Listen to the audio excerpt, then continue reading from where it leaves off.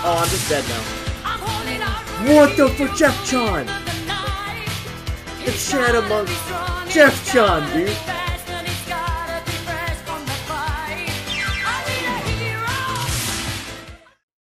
Okay, go.